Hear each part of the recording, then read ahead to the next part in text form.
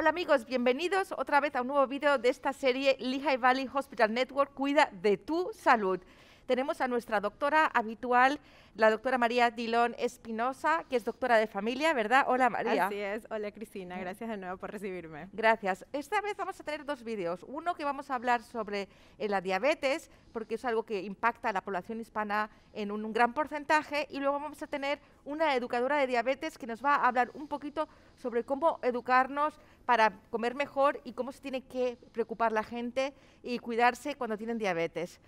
Doctora, ¿qué pasa con la diabetes y la población hispana? Es muy común en la población hispana. Tenemos una morbilidad muy alta y he notado que es un tabú. Los pacientes tienen pavor de hacerse chequeos del azúcar. No aceptan a veces que tienen diabetes. supongo que a veces es simplemente porque tenemos un poquito de temor a estar enfermos y por eso yo quería discutir este video hoy día, porque con educación, con dieta, con ejercicio, alimentándonos bien, podemos manejar la diabetes la diabetes, el azúcar es como un veneno silencioso. La manera en la que la diabetes funciona depende del tipo de diabetes. Pronto tocaremos los dos tipos de diabetes. pero muchas personas tienen muy síntomas o muy leves o ningún síntoma por los primeros cinco no años. No da síntomas. Entonces, ¿cómo podemos saber si tenemos diabetes 1 o diabetes 2? Bueno, con un examen de sangre. Esa es la única manera de saber si tienes diabetes o no. Por eso es importante que todo el mundo vaya a hacerse sus exámenes y sus chequeos anuales con sus doctores y ahí le podemos hacer el test. Hay un test interesante que se llama el de la hemoglobina glicosilada. Este test nos dice su azúcar promedio en los últimos tres meses. Es decir, no importa si se fue de vacaciones la semana anterior o pasó Navidad y no, me cuidé.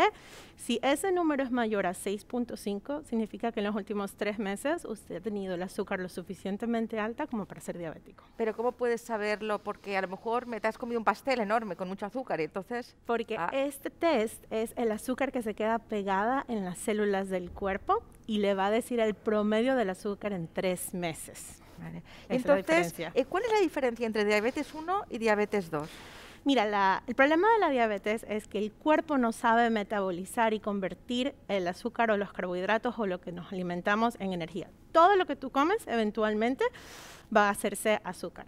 Entonces, la manera en la que funciona es yo como, eso se convierte en azúcar y está en el torrente sanguíneo flotando. Y luego todos los órganos, los músculos y las células necesitan la ayuda de una hormona llamada insulina, que se forma por un órgano en nuestro abdomen que se llama el páncreas.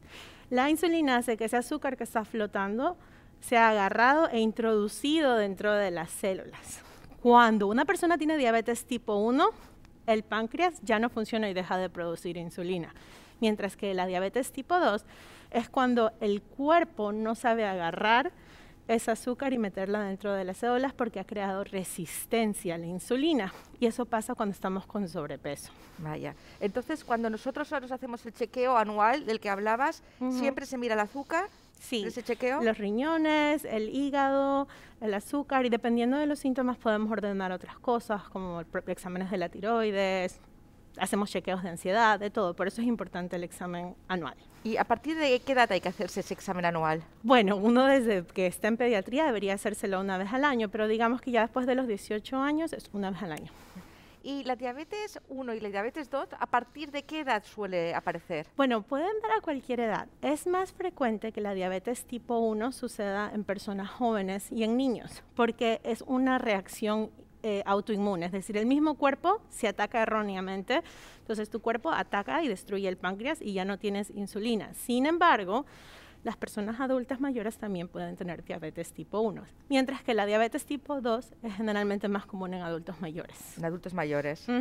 Muy bien. Y entonces, eh, dinos, ¿cómo, cómo puede ¿Es hereditaria la diabetes? Sí, tiene un componente hereditario, pero sabes que en el caso en ambos casos, en especial en la diabetes tipo 2, también hay un componente social, cultural. Explícanos a qué te refieres. Por ejemplo, nosotros los hispanos comemos mucho arroz con frijoles, que la yuca, que el plátano, comemos porciones un poquito más grandes y estamos un poquito más subidos de peso, entonces eso hace que las personas coman inadecuadamente mm. y por lo tanto pueden desarrollar diabetes tipo 2.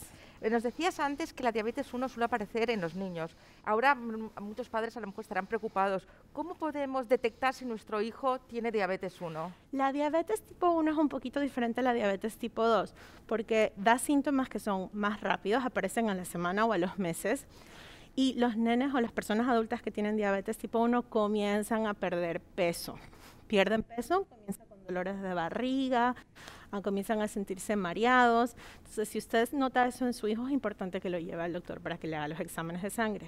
¿Y es una enfermedad crónica la diabetes? Sí, es una enfermedad crónica, pero se la puede tratar. ¿Cómo tratamos entonces la diabetes 1 y la diabetes 2? La diabetes tipo 1 necesita de insulina, porque como dije antes, el páncreas deja de producir la insulina. Entonces necesitarían inyecciones. Aunque déjame decirte que ahora último hay unas bombas de insulina que uno se las pone en la piel y que durante todo el día está chequeando el azúcar de las personas y automáticamente pasando por el torrente sanguíneo la insulina. ¿Cómo ha cambiado los tiempos, verdad, el tratamiento? Incluso lo puedes poner en tu celular y más o menos te va diciendo los niveles. Mientras que la tipo 2 puedes utilizar medicamentos orales, tabletas, y hay una cantidad de tabletas en el mercado pero ambas son con buen estilo de vida y con ejercicio. Ya. Nosotros hemos dicho que alguna la diabetes puede ser hereditaria, pero para las que no la tienen hereditaria, ¿cómo podemos prevenir tener diabetes? Manteniendo un peso adecuado, haciendo ejercicio todos los días y comiendo bien, comiendo cierta cantidad de carbohidratos, solo más o menos como el 40, 45 gramos al día, si eres hombre tal vez 60 gramos al día y comiendo mucho vegetal, también muchas proteínas. Usted puede comer toda la proteína que quiera. ¿Cómo sabemos que tenemos el peso adecuado? Bueno, tiene que ir a donde su doctor porque le van a medir su estatura y ahí le van a hacer el cálculo de su peso adecuado. Por eso son importantes las visitas anuales. Anuales. Aquí, doctora, ¿tienes algo más que quieras comentar con, nuestros, con nuestra audiencia? Simplemente que hay que aprovechar todos los recursos que tenemos ahora tenemos nutricionistas que están trabajando en estos momentos que hablan español, como Mercedes, que vamos a hablar con ella en el segundo video. Ella está haciendo citas telefónicas y por video y se toma 40 minutos en explicar qué es lo que puede comer el paciente y qué tipo de ejercicio debe de hacer para controlar su azúcar. Eh, doctora, ¿tú también haces visitas virtuales? Por supuesto, ahora que estamos en la era del coronavirus, yo hago visitas virtuales o telefónicas. Muy bien.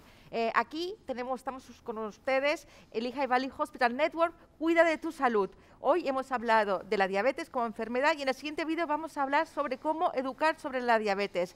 Por favor, sigan nuestros vídeos de salud porque nosotros les queremos y nos ocupamos de su salud. Muchas gracias, Cristina Luna, con todos ustedes.